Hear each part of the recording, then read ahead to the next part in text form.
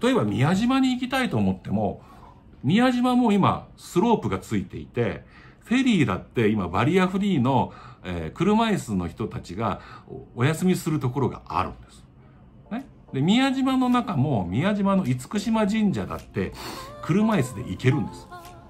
ね。